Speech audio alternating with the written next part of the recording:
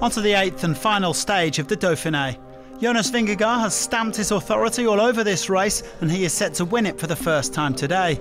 He could even round things out in style with another stage victory, although he says that is not the number one priority. I'm not going full gas for the win today. Uh, yeah, we uh, we think more about defending the jersey today than uh, than thinking about the stage win. So uh, yesterday I really wanted to go for the win, and uh, yeah, we did. And uh, today we we think more about defending. Meanwhile, there'll be a fierce battle for the podium with only a handful of seconds separating Yates, O'Connor, and Hindley before today's brutal final climb the last climb of the day after a really hard week of racing. So uh, yeah, it'll be interesting to see who's there or who's around the mark, and uh, yeah, hopefully I can be there. Yeah, I think it will be a super aggressive day. Uh, everyone all in, probably all the teams uh, throwing everything at it today. The mountains classification will also be settled. The current king of the mountains, Victor Campenaerts, will have to be aggressive if he wants to hold off the competition. It will be a very tough start. Uh, a lot of riders um, will try to get in the breakaway. It's the last chance. Um, I will try to be in, but uh, it will be very difficult. If I get in the break, I will try to stay in front, just like any other rider. Stage 8 is a roller coaster routing of 153 kilometres with 4,000 metres of elevation gain.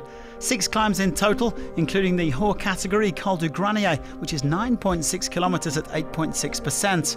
The final hike to La Bastille, meanwhile, is absolutely hellish 1.8 kilometres at an eye watering 14.2%. It's an XXL version of the iconic Mur de Huy. Julian Alaphilippe had decided to celebrate his 31st birthday by going up the road. The former world champion began the day 7th overall after what he has described as a magnificent week at this Dauphiné. Campenaerts had been part of the earlier breakaway, taking 10 points over the first two climbs, but by the Col du Granier, there were only four men in the lead. Alaphilippe, Giulio Ciccone, Clement Champoussin and Tiesj Benoot, one of Vingegaard's lieutenants. They were being chased by Jonathan Castroviejo and David de la Cruz, with the Jumbo Visma led peloton only a minute and 25 seconds back. It wasn't looking ideal then for the escapees. De la Cruz was eventually caught, but Castroviejo pushed on as they hit the Col de Cucheron, with the gaps remaining steady. Castroviejo joining the breakaway just before the summit, making it five at the front. Benoot first over the line, followed by Ciccone and Champoussin. This quintet working together to reach the foot of the Col de Porte with the peloton still around a minute and a half back. Then with 24k to go, Ciccone put in a stinging attack. Only Alaphilippe was able to hold on with Champoussin, Benoot and Castroviejo falling away. The Italian looking on supreme form. Castroviejo and Benoot were struggling to close the gap as Champoussin was caught by the GC favourites. Vingegaard and co inching ever closer, and so 3k from the summit, Ciccone went again, and this time Alaphilippe couldn't follow. Further back, Adam Yates attacked from the peloton, with Vingegaard just easing his way into the wheel. Little by little, the GC group came back together with the likes of O'Connor, Hindley, Haig and Martin, and they soon caught up to Alaphilippe. Ciccone had around 30 seconds when he got to the summit, as Antonio Pedrero also made a move. The riders sweeping down towards the fearsome final climb of this Dauphiné. Ciccone embarking on La with 50 seconds in hand, enough for a climber of his calibre to go for the win. The gradient's really starting to hurt as Vingegaard pulled clear of the GC group, followed by Yates.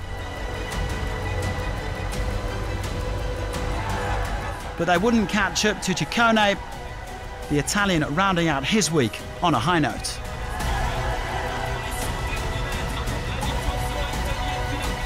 Well, Ciccone hasn't got the sunglasses to throw to the crowd today, but it looks like he's going to take the victory. Giulio Ciccone of Trek Segafredo uh, comes up to the top of La Bastille, 20 kilometres solo. His 10th win of his career and the third win of a great season.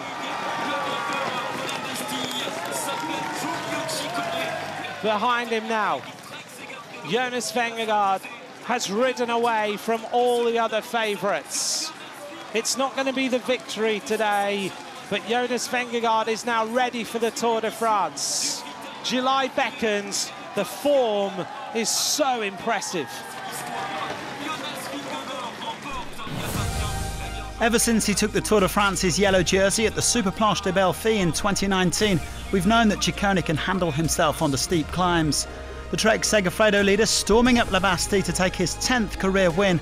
After the frustration of missing the Giro d'Italia because of a late COVID 19 positive, this will really boost his confidence before the Tour. As a bonus, he also nabbed the polka dot jersey. The last 500 was really, really long. but you know, we, with all the people, with all the people there, uh, was really was really nice. And also, when I look behind, I saw that I was. Uh, I mean, I was still in uh, front with the sun gap, so I just straight. Uh, I went straight. Uh, I'm, I'm really happy. Ciccone taking his third win of the season ahead of the top three overall, Vingegaard, Yates and O'Connor. An impressive fifth place for Guillaume Martin ahead of Jai Hindley. Vingegaard completing a dominant week.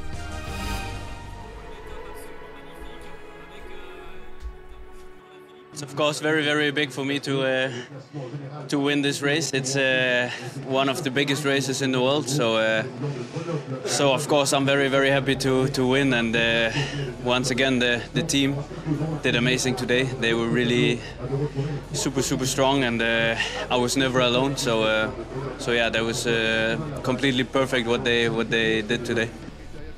Vingegaard securing his third stage race of 2023 after Gran Camino in Itzulia Basque Country with the biggest winning margin of the 21st century. Three Aussies in the top five, with Martin the highest placed Frenchman in sixth. Alaphilippe was just inside the top 10. Christophe Laporte led the green jersey standings from start to finish. In the end, his nearest challenger was his teammate Vingegaard, 14 points back. There was a fantastic battle for polka dots, with Ciccone pipping Campenaerts at the last. The Belgian appeared to have done enough, but a superb haul of 41 points on the final stage handed the Italian a narrow victory. The white jersey also changed hands on the final day, with Carlos Rodriguez finishing as the best young rider. We will no doubt be seeing plenty more of the Spanish champion and riders like Poole, Johannessen and Martinez. It has been a Dauphiné demonstration from Jonas Vingegaard. Last year's Tour de France winner is definitely ready to defend his title in a few weeks' time. Do join us again on July the 1st when it all kicks off in Bilbao, and thanks very much for watching.